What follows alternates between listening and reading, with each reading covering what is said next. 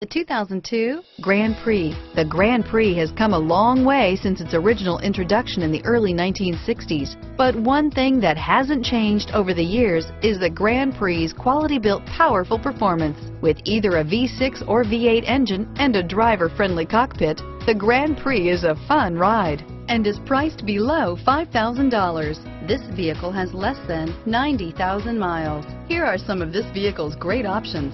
Traction control, anti-lock braking system, power steering, adjustable steering wheel, driver airbag, keyless entry, four-wheel disc brakes, floor mats, cruise control, aluminum wheels, AM FM stereo radio, FWD, rear defrost, child safety locks, fog lamps, bucket seats, passenger airbag, CD player, power door locks, power windows. This isn't just a vehicle, it's an experience. So stop in for a test drive today.